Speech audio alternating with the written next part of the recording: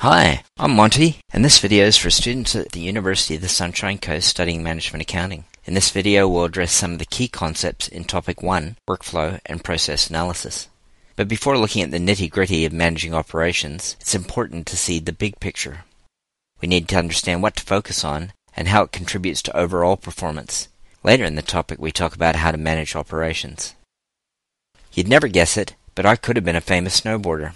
I could have won medals at the Olympics so what happened? Why am I teaching management accounting instead? My story is all about how resources come together to create capabilities. Certain capabilities may then be core competencies, and core competencies provide sustainable competitive advantage if they're valuable, rare, inimitable, and non-substitutable. Competitive advantage is the goal of any athlete. It's also the goal of any organization. It's the basis for making a profit. So what would I need to be a professional snowboarder? Let's take a resource-based view. Resources are all those things that I need to be a snowboarder.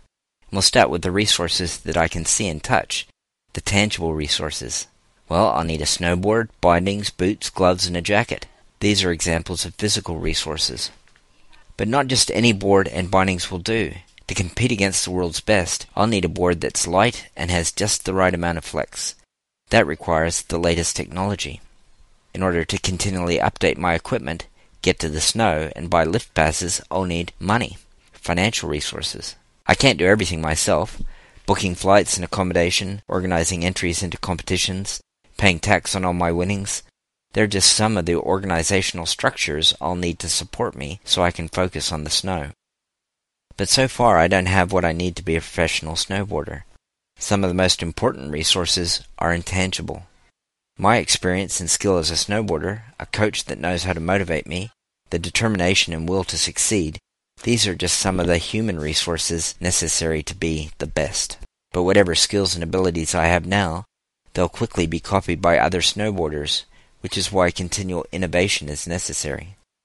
Finally, to make money as a professional snowboarder, it's important that other people know about me. It's only by developing and maintaining a reputation that I'll be able to attract sponsorships and then one drug charge and it would all be over. Hey, so that's great.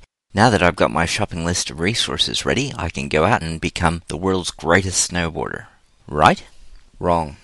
Resources are useless unless they are put into action. It's capabilities that are important. Capabilities are the capacity to deploy resources. Just having all the gear and getting to the top of the mountain doesn't mean I can get down it in one piece. Now that I've got the capability to do some really cool tricks, does that make me the world's greatest snowboarder? Unfortunately, my frontside Indy won't be worth anything if everyone else can do it. It must be rare. The judges, the public, and the sponsors must like it. It must be valuable. It must be difficult for others to copy me. It must be inimitable. And the tricks that other competitors can do must not be as good as mine.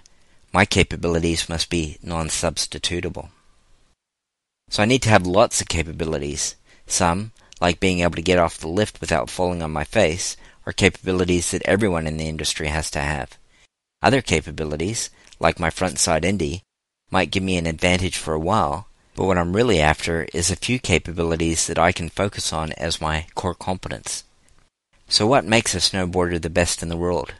Maybe it's creativity, plus technological breakthroughs, plus reputation, plus courage. These tangible and intangible resources come together to create the capability to learn new tricks faster than anyone else. The purpose of thinking about the organization in terms of resources, capabilities, and core competencies is to identify those core competencies that they really need to focus on so that they can make sure that they continue to provide the resources necessary to maintain that competitive advantage. In summary, you should be able to give examples of tangible and intangible resources. You should understand how resources come together to provide capabilities. You should know the four characteristics that are necessary to provide sustainable competitive advantage. Thanks. That's the end of this video.